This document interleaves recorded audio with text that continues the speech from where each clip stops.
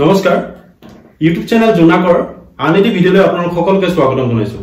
ইতিমধ্যে আপোনালোকে হয়তো গমেই পাইছে সত্যৰঞ্জন বৰা মোৰ লগত উপস্থিত আছে। তেখেতৰ এটি ভিডিঅ' তেখেতৰ আপোনালোকৰ আগলৈ আগবঢ়াই ইতিমধ্যে মই দিছিলো হয়তো আপোনালোকে দেখিছে।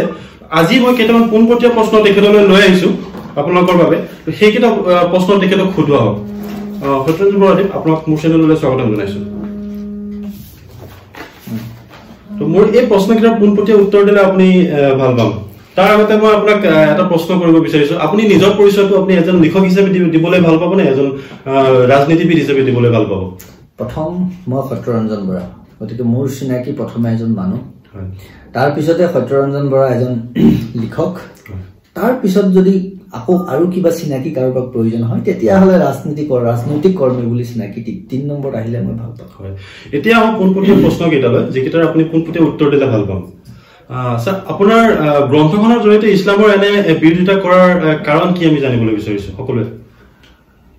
ইছলামক মই ইছলাম বিৰোধিতা কৰা নাই মই মুছলমানৰ বিৰোধিতা কৰা নাই। মই কিতাপখনৰ পাতনিতে প্ৰথম লাইনটো মই লিখিছোঁ যে মই মুছলমান বিদ্বেষী নহয়। কিন্তু এটা বস্তু মই দেখা পাই আছোঁ মই কৈছোঁ বিভিন্ন সময়ত যে মই গান্ধাৰী হ'ব নোখোজোঁ। মহাভাৰতখনৰ মহাভাৰত ৰামায়ণ এই গোটেই কথাবোৰে মোৰ জীৱনত বিশেষ প্ৰভাৱ পেলাই থৈছে। গান্ধাৰী চৰিত্ৰটোৱে বিশেষকৈ মোৰ জীৱনত আটাইতকৈ বেছি প্ৰভাৱ এইকাৰণে পেলাইছে। আৰু তেতিয়াৰ পৰাই চাগে সেই সেই কেৰেক্টাৰটোৰ পৰা মোৰ জীৱনত বহুত কথা সঁচা কথাবোৰ মই দেখা পোৱাৰ পিছত মই নোকোৱাকৈ থাকিব নোৱাৰা হ'লোঁ। কাৰণ গান্ধাৰীয়ে যদি গান্ধাৰী অন্ধ নাছিল ধৃতৰাষ্ট্ৰ অন্ধৰ কাৰণে তেওঁ নিজৰ চকু বন্ধ কৰি থৈছিলে বিভিন্ন অভিমান কৰি বিভিন্ন কাৰণত। সেই আখ্যান আৰু মই আপোনাক ক'ব খোজা নাই। কিন্তু গান্ধাৰীয়ে চকু বন্ধ কৰি ৰাখি কি হ'ল? তেওঁলোকৰ মাজতো বহুতো শিক্ষিত লোক আছে বহুতো নাই, নাই, মই সেই কথাটো ক'ব খুজিছো না মই সেইটো আহি আছো। গান্ধাৰী কথাটো হৈছে যে গান্ধাৰীয়ে নেদেখিল। নেদেখি কি হ'ল? গান্ধাৰীয়ে এশটা পুতেক হেৰুৱালে। গান্ধাৰীৰ পাৰ্চনেলি লছ কি হ'ল যে গান্ধাৰীয়ে এশটা পুতেক হেৰুৱালে। যদি গান্ধাৰীয়ে কথাবোৰ চকু খুলি ৰাখিলেহেঁতেন তেওঁ- তেওঁ জানিও আছিল চব। তাৰপিছতো তেওঁ নিজৰ কিবা এটা কথাত কিবা এটা কথাত লাগি পেলাই তেওঁ চকু বন্ধ কৰি থৈ দিলে তেওঁ কথা মাত নামাতিলে এশটা পুতেক হেৰুৱালে এতিয়া মই দেখা পাইছো যে ভাৰতীয় মুছলমানখিনিও যিখিনি মানুহে আমাৰ বহুত মানুহে নিজৰ চকুত গামোচা বান্ধি থৈ দিছে বা চকু দেখিও নেদেখা ভাও জুৰি আছে টোপনি যোৱাৰ ভাও ধৰিছে যদিও সাৰ পাই আছে। তাৰপিছতো আমি কিছু কথা কোৱাৰ প্ৰয়োজন আছে যিখিনি কাৰণে আমাৰ মানুহবোৰ নষ্ট হৈ গৈছে। আমি মানুহবোৰ হেৰুৱাইছো। মুছলমান মানুহ সহজ সহজ সৰল সাধাৰণ মুছলমানখিনিক আমি ক'ৰবাত বিপথে পৰিচালিত হোৱা যেন মোৰ লাগিছে কিয়নো মই তেওঁলোকৰ মাজতে ডাঙৰ দীঘল হৈছো। আপুনি মোক সুধিছে যে তেওঁলোকৰ মৌলানা মুফতিবিলাকে এইটো দেখা নাই নেকি? তেওঁলোকে দেখিছে। তেওঁলোকে দেখিও তেওঁলোকে সেইটো কৰাব খুজিছে কিয়নো তেওঁলোক আৰৱ দেশৰ পৰা স্পনচাৰ্ড তেওঁলোক আৰৱ দেশৰ তেওঁলোকক? মই কৈ আছো বিভিন্ন। আপোনাৰ আগত ক'লোৱে নহয়। তেওঁলোক আৰৱ দেশৰ এজেণ্ট কিয়নো কোৰাণত কৈছে ইছলামীকৰণ কৰিব লাগে। য'ত অবিশ্বাসীবিলাক য'ত থাকে তেওঁলোকক খেদি পঠিয়াব লাগে। এতিয়া অবিশ্বাসীবিলাক খেদি কেতিয়া পঠিয়াব? কলেজৰ শিক্ষক এজনে ডক্তৰ এজনে গৈ পেলাই সেই কথাটো ৰাইজৰ ৰাজহুৱাকে নকৰে। তাৰ কাৰণে তেওঁলোকে প্লেন কৰিব প্ৰগ্ৰাম কৰিব। সাধাৰণ মুছলমানখিনিক সেইধৰণে প্ৰিপেয়াৰ কৰিব। সাধাৰণ মুছলমানখিনিক যদি সঁচা কথাবোৰ কৈ দিয়ে তেওঁলোকে কামবোৰ নকৰিব। গতিকে তেওঁলোকক সঁচা কথা নকয়। তেওঁলোকক সঁচা কথা নোকোৱাকে তেওঁলোকে এটা প্ৰক্ৰিয়া কৰিছে যিটো মাদ্ৰাছা আৰু মছজিদবোৰৰ জৰিয়তে। আৰু মাদ্ৰাজা মাদ্ৰাছা আৰু মছজিদৰ লগত জিহাদৰ মাদ্ৰাছা আৰু মছজিদৰ লগত ইছলাম ইছলামাইজেশ্যনৰ একটা নিবিড় সম্পৰ্ক আছে সেই কথাবোৰ মই পৰৱৰ্তী কিতাপখন স্পষ্ট কৰিম। যিখন কথা কিতাপৰ কথা মই কৈছোঁ যে পৰৱৰ্তী কিতাপখনত মোৰ ইছলাম আৰু কোৰাণ বোধহয় এনেকুৱাই হ'ব সৰ্বকালৰ সৰ্বনাশী চিন্তা যিটো হৈছে যে মানৱ জীৱনৰ কাৰণে আটাইতকৈ সৰ্বনাশী চিন্তা। এই ধৰণৰ কথা কিছুমান চিন্তাৰে মই পৰৱৰ্তী কিতাপখনত এই কথাবোৰ মই তাত আনিম। আৰু এটা প্ৰশ্ন পোনপটীয়া প্ৰশ্ন সুধিবলৈ বিচাৰিছো। ইছলামৰ লগত আপোনাৰ কিবা ব্যক্তিগত শত্ৰুতা বা সেই ধৰ্মটোৰ প্ৰতি আপোনাৰ কিবা বেয়া ভাৱ আছে নেকি? একো নাই। কৈছোঁ নহয় মই ছেভেনলৈকে মই মাদ্ৰাছাত পঢ়িছোঁ। মই মুছলমান ভাই এগৰাকীৰ কোলাত মই ডাঙৰ হৈছোঁ। মোৰ প্ৰিয় শিক্ষকজন মুছলমান যিজন শিক্ষকে আটাইতকৈ তেওঁৰ প্ৰিয় ছাত্ৰ বুলি কয় তেওঁ মুছলমান। আজি ৰাজনৈতিক জীৱনত সামাজিক জীৱনত বিভিন্ন ক্ষেত্ৰত মই যাক সুধোঁ তেওঁ ধৰ্মৰ প্ৰতি মোৰ কোনো বেয়া ভাৱ নাই কিন্তু ধৰ্মত থকা সেই ধৰণৰ কথাবোৰ যিবোৰ কথাই মোৰ সহোদৰখিনিক মই কৈছো নহয় মুছলমান বিদেশী মই নহয় মুছলমানখিনি মোৰ ভাই ককাই নিচিনা তো মোৰ সহোদৰখিনিক মোৰ বাই ভনী কোনোবাই মিছ ইউজ কৰিব সি যোনে নহওক তাতে আৰৱ দেশৰ যাৰ লগত আমাৰ কোনো সম্পৰ্ক নাই এখন মৰুভূমিৰ দেশ আমাৰতো এখন সেউজীয়া দেশ আমাৰ চিন্তাই বেলেগ আমাৰ প্ৰকৃতি বেলেগ আমাৰ জিন বেলেগ আমাৰ ডি এন এ বেলেগ য'ত তাৰ লগত কোনো সম্পৰ্কই নাই আৰৱ দেশৰ লগত মৰুভূমিৰ লগত খৰাং এখন ঠাইৰ। কথা। তাৰ লগত তাৰ চিন্তাই আহি আমাৰ মানুহখিনি নষ্ট হ'ব কৰিব সেইটোতো সহ্য কৰিব নোৱাৰে কিন্তু বহুতো আমাৰ দেখা গৈছে বহুতো বিশিষ্ট শিক্ষাবিদ আছে সমাজকৰ্মী আছে তেওঁলোকে হয়তো এই কথাখিনি জানে কিন্তু তেওঁলোকে নোকোৱাৰ কাৰণ কি? চেকুলাৰ চকল চেকুলাৰ বুলি যাক কয় তেওঁলোকে নিজকে সমাজৰ আগত চেকুলাৰ সজুৱাই তেওঁলোকে চবকে একেলগে থাকি তেওঁলোক আচলতে কি হয় নিজৰ ঘৰত জুই লগা নাই যে সেয়া তেওঁলোকে বুজা নাই। আৰু তেওঁলোকে চেকুলাৰিজিমৰ এখন মুখা মুখা পিন্ধি লৈছে তেওঁলোকে ভাবে মুছলমানক আমি যদি লগত থাকোঁ তাৰমানে চেকুলাৰ আৰু হিন্দুৰ লগত থাকিলে বা অন্য ধৰ্মৰ লগত থাকিলে তেওঁলোক কমিউনেল হয়। সঁচা কথাটো কওক চেকুলাৰ কমিউনেল বুলি একো কথা নাই। ভাৰতীয় সংস্কৃতিয়ে চেকুলাৰ ভাৰতীয় সংস্কৃতিত বিশ্বাস কৰাৰ পিছত আপুনি আকৌ নিজকে চেকুলাৰ বুলি বেলেগকে প্ৰমাণ দিব নালাগে। আজি মই মুছলমানৰ এগেইনষ্টে কৈছো বুলি যেতিয়া ধৰি লৈছে সেইকাৰণে মই কমিউনেল হৈ গ'লো। কিন্তু কতই হিন্দুৰ এগেইনষ্টে কয় কতই খ্ৰীষ্টানৰ এগেইনষ্টে সেইবোৰ কমিউনেল বুলি নকয়। কিন্তু মুছলমানৰ এগেইনষ্টে ক'লে কমিউনেল কিয়? এইটো প্ৰক্ৰিয়া কৰা হৈছে চাই ব্ৰিটিছ অহাৰ পৰা এই প্ৰক্ৰিয়াটো চলিছে। কিন্তু আজি ভাৰতবৰ্ষত ভাৰতীয় সংস্কৃতিত আৰু এইবোৰ সহ্য কৰি থকা নহ'ব। অন্ততঃ আমি আমি যেতিয়ালৈকে জানিছো বুজিছো কোনোবাই কওক নকওক মইতো ক'বলৈ আৰম্ভ কৰিছো মই কৈ যাম। আপুনি এইটো ক'ব পাৰিব নেকি যে আমাৰ হিন্দু ধৰ্মত কোনো খুঁত নাই? আছে ন? নাই বুলিতো মই কোৱাই নাই। আছে। হিন্দু ধৰ্মত খুদ আছে হিন্দু ধৰ্মত খেলি মেলি আছিল হিন্দু ধৰ্মত সমস্যা আছিল। সেইকাৰণে বুদ্ধদেৱৰ জন্ম হৈছে সেইকাৰণে শ্ৰীমন্ত শংকৰদেৱৰ জন্ম হৈছে? এক ছেকেণ্ড সেইকাৰণে স্বামী বিবেকানন্দৰ জন্ম হৈছে।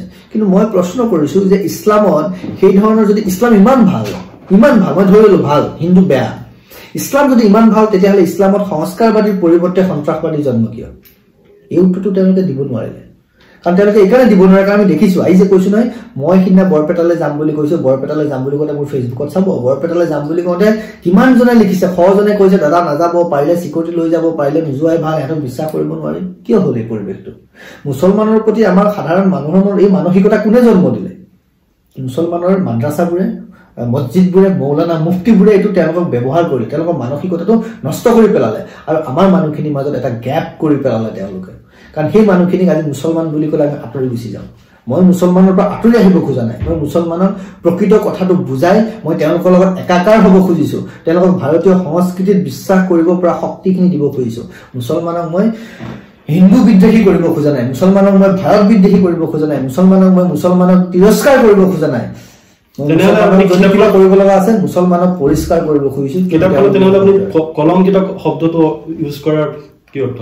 কাৰণ তেওঁলোকক কলংকিত কৰা হৈছে। আৰৱ দেশৰ কোৰাণৰ কলংকিত কথাবোৰে মুছলমান সমাজক কলংকিত কৰিছে। সেইকাৰণে মই কলংকিত শব্দটো ব্যৱহাৰ কৰিছো। তাতকে আৰু কঠিন শব্দ ব্যৱহাৰ কৰিব লাগিছিল। কৰিছিলো নামটো আৰু বেলেগ ধৰণৰ আছিল কিন্তু অলপ মই তাৰপিছত ভাবিলো যে নগ'ল আৰু এতিয়া ভাবিছো নহয় মই আৰু কঠিন কঠিন শব্দ ব্যৱহাৰ কৰাৰ প্ৰয়োজন আছিল আচলতে।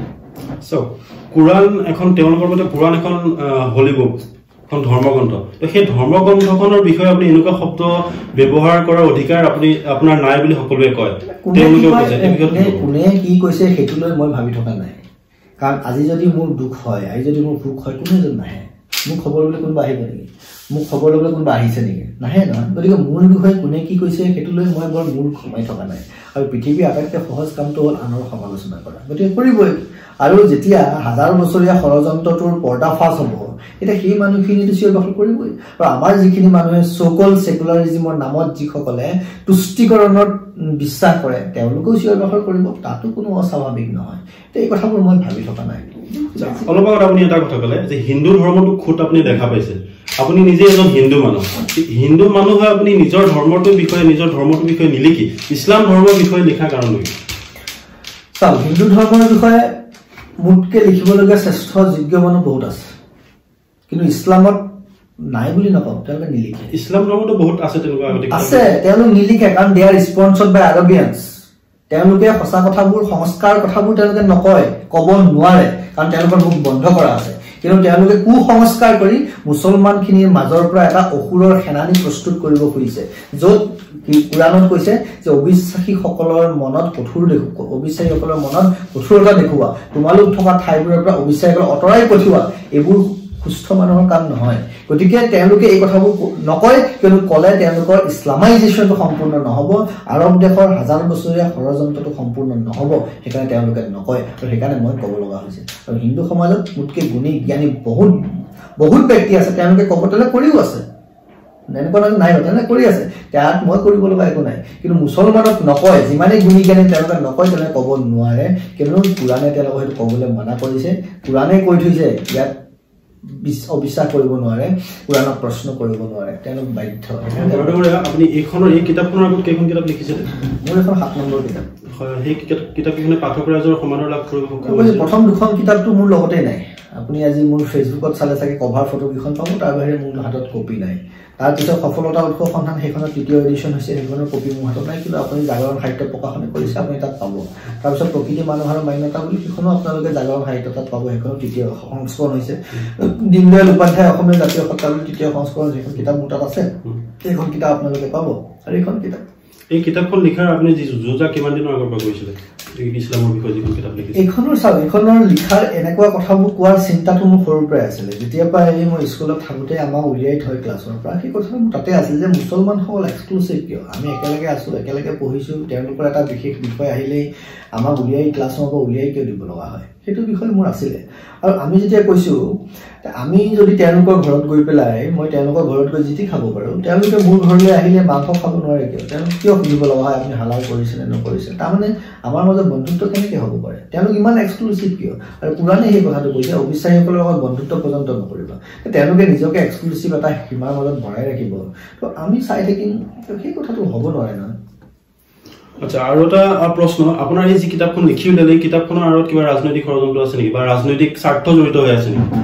একো ৰাজনৈতিক স্বাৰ্থ বুলিবলৈ নাই একো মই যি লিখিছোঁ কৈছোঁ নহয় মই মানুহ হিচাপে লিখিছোঁ। মই কিতাপৰ পাতনি কিতাপৰ পাতনিটো আছে কিতাপৰ ভিতৰতো আছে যে কোনো ৰাজনীতিবিদে সঁচা কথাবোৰ স্পষ্টকৈ নকয় মই এইকাৰণে কৈছোঁ এতিয়া আপুনি ক'ব প্ৰশ্ন সুধিব পাৰে যে আপুনি পলিটিচি পলিটিক্স কৰে তাৰপিছতো আপুনি কথাবোৰ কৈছে সঁচা কথা কৈছে তাৰমানে কথাটো কি হ'ল? কথাটো এইটোৱে মই যেতিয়া লিখিছোঁ মই তেতিয়া লিখক মই তেতিয়া পলিটিচিয়ান নহয়। আৰু যেতিয়া মই পলিটিক্স কৰিছোঁ তেতিয়া মই পলিটিচিয়ান তেতিয়া মই লিখক নহয়। দুইটা চিনাকি দুইটা দেখা পাওঁ আছে। পলিটিচিয়ানবোৰে সঁচা কথা নকয়।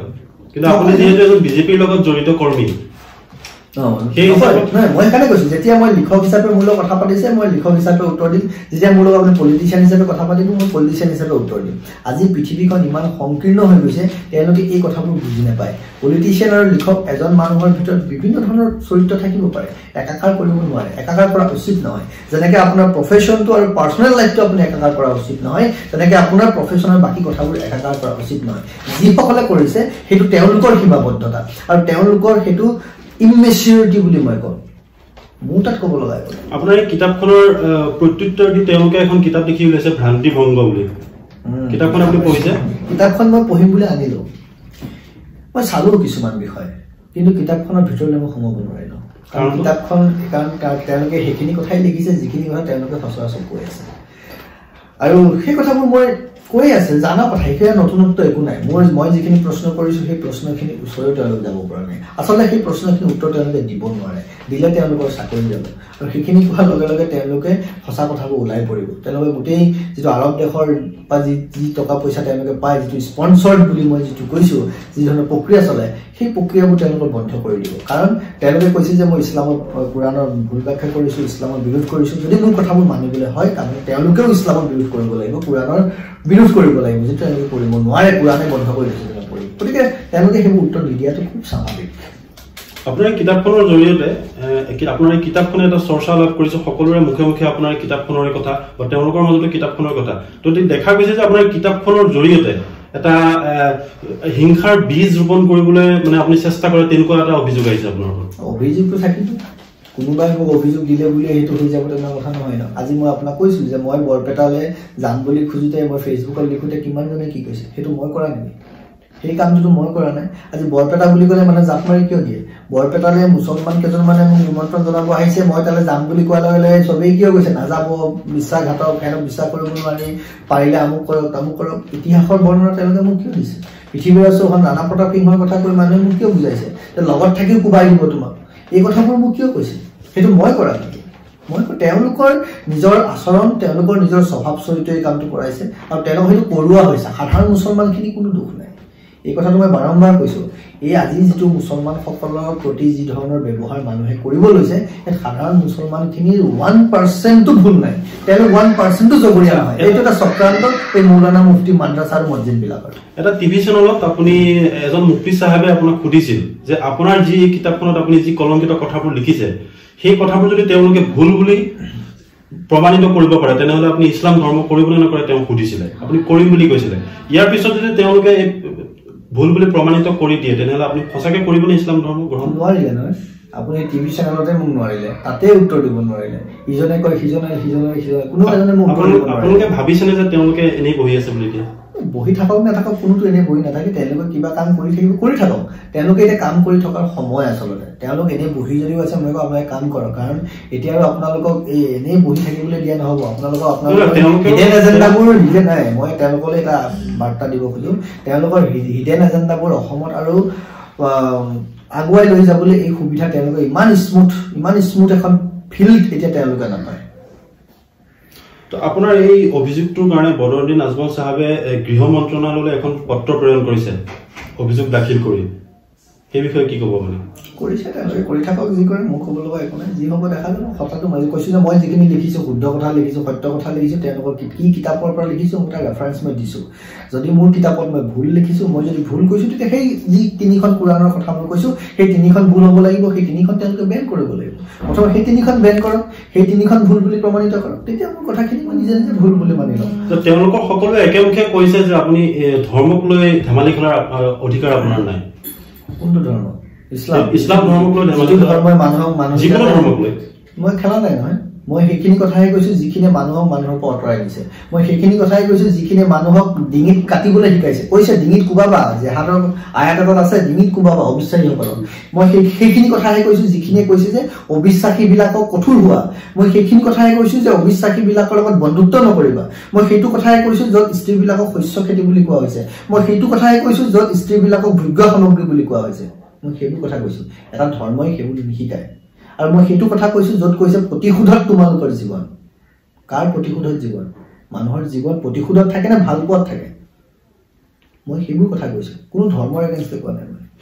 শেহতীয়াকৈ আৰু এটা প্ৰশ্ন সুধিম সুধিম যে গ্ৰন্থখনৰ জৰিয়তে যি বিতৰ্কৰ সৃষ্টি হৈছে যি বিতৰ্কৰ সৃষ্টি হৈছে তাৰ ফলত সমাজত কুপ্ৰভাৱ পৰাৰ চেষ্টা হৈছে। যাৰ ফলত কিছুমান গঠনমূলক চিন্তাৰ পৰা হয়তো কিছুমান মানুহ আঁতৰি যাব আঁতৰি যাবলৈ বাধ্য হৈছে। কি ক'ব আপুনি? এইটো এইটো এইটো গঠনমূলক চিন্তা। কাৰণ এইটো মোৰ দেশখনৰ মোৰ জাতিটোৰ মোৰ মাটিখিনিৰ চিন্তা এইটো এইটো আপুনি নেতিবাচক বুলি ক'ব নোৱাৰে। কোনোবাই এইটো ক'ব খোজে যদি এইটোৰ কাৰণে আৰু বেলেগ ধৰণৰ কথা কিছুমান পাত পৰি গৈছে। আটাইতকৈ ডাঙৰ কথা এইটোৱেই। মোৰ মাটি নাথাকিলে মোৰ ঘৰ বাৰী নাথাকিলে মোৰ জাত মান নাথাকিলেতো মই ক'ত থাকিলোঁ? তাৰপিছত মই এসোপা টকা থাকিলে মই কি কৰিম মোৰ থাকিবলৈ যদি ঘৰ নাই য'ত আছোঁ তাত মই মন খুলি হাঁহিব নোৱাৰোঁ। তাৰপৰা কি মতলব আছে মোৰ গাড়ীখনৰ মোৰ ঘৰটোৰ? এইটো আটাইতকৈ ডাঙৰ কথা। কোনে কি ভাবিছে মই ক'ব নোৱাৰোঁ। মই ভাবিছোঁ মানুহ হিচাপে থাকিবলৈ অসমত অসমীয়া হিচাপে জীয়াই থাকিবলৈ হ'লে ভাৰতবৰ্ষত হিন্দু হিচাপে জীয়াই থাকিব হ'লে এইটো প্ৰথম আৰু প্ৰধান কথা। কাৰোবাৰ কাৰণে হ'ব পাৰে নহ'ব পাৰে তাক লৈ মোৰ মতলব আমাৰ সমাজখন উন্নতিৰ দিশত আগুৱাই যাবলৈ হ'লে যুৱ সমাজ যুৱ যি সমাজ আছে যুৱ প্ৰজন্মৰ হাত অতিকৈ জৰুৰী। তেওঁলোক কি ক'ব? তেওঁলোকে আপোনাৰ এই চিন্তাটোক লৈ এই বিতৰ্কটোক লৈ এতিয়া বৰ্তমান ব্যস্ত হৈ আছে। তেওঁলোকক মই হৈ থাকিব কোৱা নাই। তেওঁলোকক কৈছোঁ সঁচাটো বুজক সঁচাটো ভাবক। যিটো সঁচা সেইটো গ্ৰহণ কৰক। অসত্যৰ পিছে পিছে মৰুভূমিত মৰিচিকা খেতিটো লাভ নাই। আৰু এনেই কিছুমান অবান্তৰ কথাত লাগি তেওঁলোকে সময় নষ্ট কৰিব নালাগে। ইয়াত মৰুভূমিত মৰিচিকা খেদাৰ নিচিনা হৈছে। আৰু তেওঁলোকে দেখা পাই আছে বুজি পাইছে। যিসকল ভুক্তভোগী তেওঁলোকক এবাৰ সোধক তেওঁলোকৰ ওচৰলৈ যাওক। আৰু যি ধৰণে আগুৱাই যাব লাগে সেই ধৰণে আগুৱাই যাওক। ইয়াত কোনে আৰু চাওক দুটা কথা দেই। মই কৈছোঁ বুলিয়ে যে কোনোবাই কৰিব তেনেকুৱা কথা নাই ন। তেওঁলোকে নিজে চাওক। নিজে কোনোবা সত্যৰঞ্জন বৰাই কৈছে সত্যৰঞ্জন বৰাই ক'ব সত্যৰঞ্জন কৰাৰ মতে চলিব তেনেকুৱা কথা নাই। তেওঁলোকে নিজে চাওক নিজে পঢ়ক নিজে বুজক নিজে অনুভৱ কৰক নিজে আগবাঢ়ক। তাত আৰু মই কি ক'ম? অ'কে আপুনি ইমান সময় আপুনি এজন সাহিত্যিক হিচাপে বা এজন লিখক হিচাপে উত্তৰখিনি দিলে মই এটা প্ৰশ্ন আপোনাক কৰিম। আপুনি এজন ৰাজনীতিবিদ হিচাপে বা ৰাজ- ৰাজনীতিৰ লগত জড়িত এজন লোক হিচাপে বিজেপিৰ লগত জড়িত এজন লোক হিচাপে এই গোটেই বিষয়টোক আপুনি একেমুখে কি ক'ব? সহজ ভাষাত। এই গোটেই বিষয়টো একেমুখে এইটোৱে ক'ম। অসমত আমাৰ ৰাজনৈতিকভাৱে ৰাজনৈতিক সুৰক্ষাটো সংৰক্ষিত হৈ থাকিবলৈ হ'লে প্ৰথমে আমাৰ সামাজিক সাংস্কৃতিক সুৰক্ষা থাকিব লাগিব। কিয়নো ৰাজনীতিবিদসকলৰ দায়িত্ব এটা আছে যে আমাৰ সমাজখন তেওঁলোকে ওপৰলৈ লৈ যাওক বা উন্নতিৰ দিশলৈ লৈ যাওক। ৰাজনৈতিক সুৰক্ষাটো ৰাজনৈতিকভাৱে আমি সুৰক্ষিত হৈ থাকিব হলে প্ৰথমে আমাৰ সামাজিক সাংস্কৃতিক আৰু অৰ্থনৈতিক সুৰক্ষাটো সংৰক্ষিত হৈ থাকিব লাগিব। আজি আমাৰ সংস্কৃতি ক'ত আছে? আজি মই একদম কৈছো যে ৰাজনীতিৰ ফালৰ পৰা আজি আমাৰ সংস্কৃতি কাৰ হাতত? সংস্কৃতি ক'ত? ভাৰতীয় সংস্কৃতি আজি আৰৱ দেশৰ চিন্তা কিয় অসম দেশত আজি আৰৱ দেশৰ চিন্তা কিয়? অসম তেতিয়া সুৰক্ষিত হৈ থাকিব যেতিয়া অসমৰ নিজা সংস্কৃতিটো জীপাল হৈ থাকিব। আজি অসমত অসমীয়া সংস্কৃতি জীপাল হৈ আছেনে? আজি অসমীয়া সমাজ জীৱনত অসমীয়াত্ব আছেনে? আজি ভাৰতীয় সমাজ জীৱনত ভাৰতীয়ত্ব আছেনে?